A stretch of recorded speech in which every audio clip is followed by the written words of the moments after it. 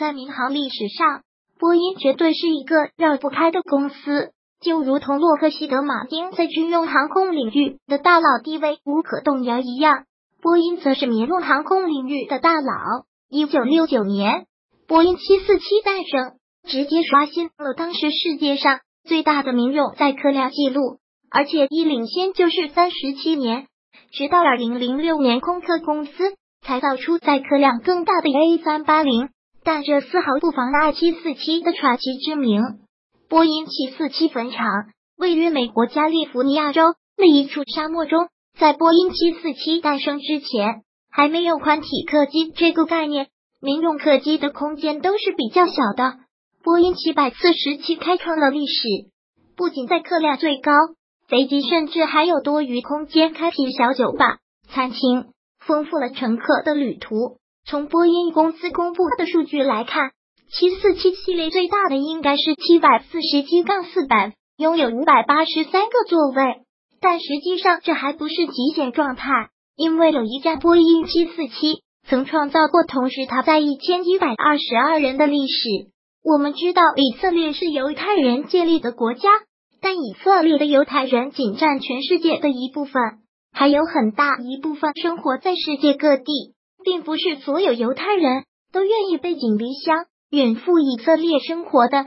比如上世纪八十年代的埃塞俄比亚，生活着二点四万名法拉沙人黑皮肤的犹太人。为了限制犹太教的发展，埃政府对法拉沙人很不友好，严厉监视教宗的活动，还不允许他们转播教义和希伯来语（犹太人的母语）。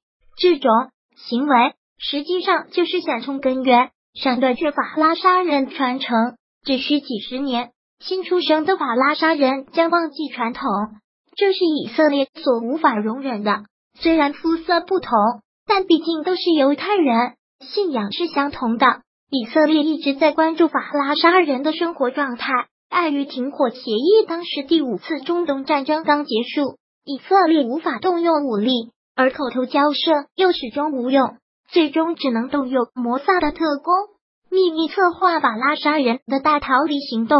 摩萨德的特工将买通埃塞俄比亚的一部分环节，从而分批次的一批批将法拉沙人带出埃塞俄比亚境内。一开始计划进行的很顺利，超过八千名法拉沙人成功被转移到了以色列境内。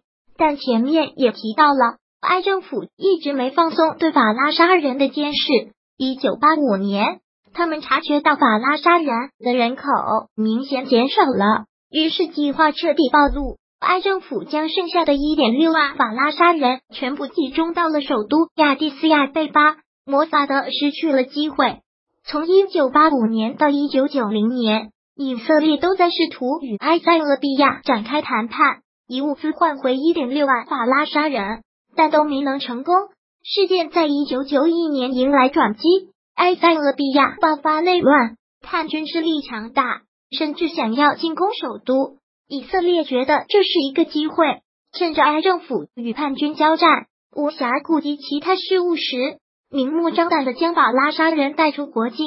以色列制定了所罗门行动，限定时间三十六小时。叛军此时距离亚的斯亚贝巴其实预计很近了。三十六小时就是根据叛军的进攻强度计算的。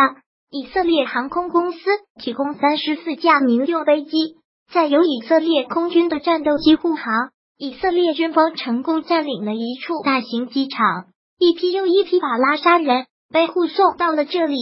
为了提高效率，这三十四架飞机的座椅全部都被拆除了，只剩下空荡荡的机舱。其中一架波音七四七。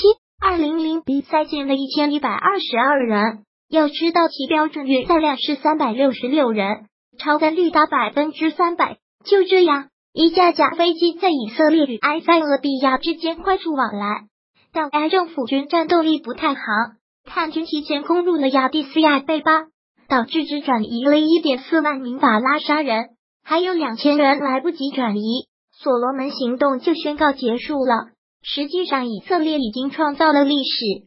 毕竟，任何一家航空公司都不敢在一架飞机里塞进一千多号人。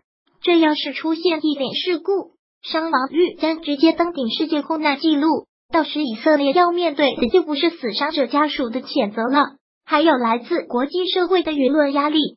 至于还没来得及转移的二零零零名法拉杀人，以色列一直在设法营救。随着以色列与阿拉伯世界的关系缓和，其实是阿拉伯国家内斗不愿再耗费精力和以色列开战。埃塞俄比亚最终坐上了谈判桌，并同意一百辆 T 五五主战坦克和部分米格战斗机的零部件，都是以色列在中东战争中缴获的，来换取法拉沙人自由前往以色列探亲的机会。说是自由探亲，其实就是一去不复返。埃尔俄比亚也默认了这种行为。